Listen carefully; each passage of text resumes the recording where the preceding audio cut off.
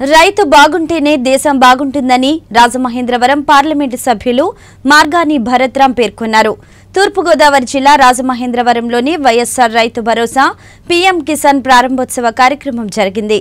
వ్యవసాయ శాఖ director MV Ramasai అధ్యక్షతన జరిగిన ఈ కార్యక్రమానికి ఎంపీ భరత్రాం ముఖ్య అతిథిగా పాల్గొని మాట్లాడారు. దివంగత ముఖ్యమంత్రి వైఎస్ రాజశేఖర రెడ్డి ఆలోచన విధానాలను ప్రస్తుత సీఎం జగన్ అమలు చేస్తున్నారన్నారు. పాదయాత్రలో రైతుల కష్టాలు చూసిన జగన్మోహన్ రెడ్డి రైతన్నలకు ఇచ్చిన హామీ మేరకు అధికారంలోకి వచ్చిన నాలుగు నెలల్లోనే ఇచ్చిన హామీని నెరవేరుస్తూ ఉన్నారన్నారు. ఎన్నికలకు ముందే రైతు భరోసా కింద ప్రతి రైతుకు పన్నెండు వేల ఐదు వందల రూపాయలు అందజేస్తామని హామీ ఇచ్చారని ఇప్పుడు ఆ మొత్తం పదమూడు వేల ఐదు వందలు పెంచి అందజేయడం జరుగుతుందన్నారు. రైతు పంట వేసుకోవడానికి సాయం చేయడమే కాకుండా రైతును అనేక విధాలుగా ఆదుకోవడానికి జగన్ ప్రభుత్వం ఆలోచనలు చేస్తుందన్నారు. అనంతరం వ్యవసాయ శాఖ ఆధ్వర్యంలో వివిధ రకాల ఏర్పాటు చేసిన స్టాల్స్ను ఎంపీ భరత్ తిలకించారు. అనంతరం వైఎస్ఆర్ రైతు భరోసా సీఎం కిసాన్ పథకాన్ని ప్రారంభించారు. ఈ సందర్భంగా లబ్ధిదారులకు చెక్కులను పంపిణీ చేశారు. ఫౌంటైన్స్ తీసుకోవాలని కూడా ప్రతిపాదన కమిషనర్ గారికి చెప్పడం కూడా జరిగింది. దానిపైన కూడా లుక్ రావాలి అని అని అంటే డ్రైనేజ్ వ్యవస్థ ఒకటి క్లియర్గా ఉండాలి. రెండోది రోడ్స్ అన్నీ కూడా పెద్దగా ఉండాలి. అదేవిధంగా మనకి లైటింగ్ అంతా కూడా పర్ఫెక్ట్గా ఉండాలి.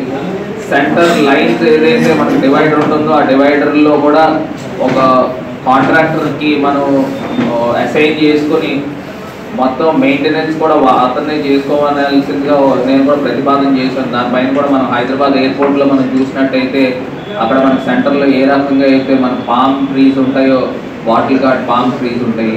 అదేవిధంగా ఈత చెట్లు లాంటివి ఉంటాయి పామ్ ట్రీస్ ఇవన్నీ కూడా Anala Venkatappa Rao road JN road Tilak road అదేవిధంగా central jail road RTC complex road ఇవన్నీ సెంట్రల్ డివైడర్లలో కూడా ఈ యొక్క మొక్కలు వేసి మనకి లుక్ తీసుకురావాలని కూడా నేను ప్రతిపాదన తీసుకుని వచ్చాను. ఊహించుకుంటూ మనకి రాజమండ్రి కూడా ఏంటంటే మనం నేచర్ పాయింట్ ఆఫ్ వ్యూలో తీసుకున్నా మనకి ఒక మంచి మెసేజ్ ఇచ్చే విధంగా మొక్కలు నాటితే మనకు మంచి మెసేజ్ వస్తుంది.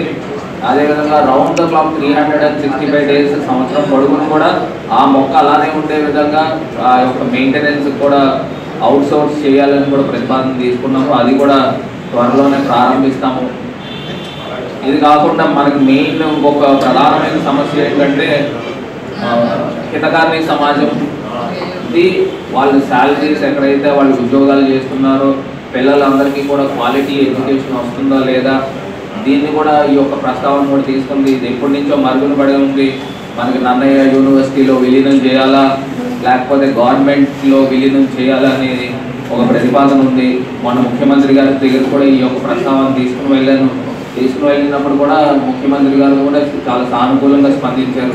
ఈ యొక్క ఆ, సమాజానికి ఏదైతే కాలేజెస్ ఉన్నాయో ఇవన్నీ కూడా గవర్నమెంట్లో విలీనం చేయాలా లేకపోతే నన్నయ్య యూనివర్సిటీలో విలీనం చేయాలనేది అది కూడా త్వరలోనే ఇయర్లోనే కంప్లీట్ చేస్తాం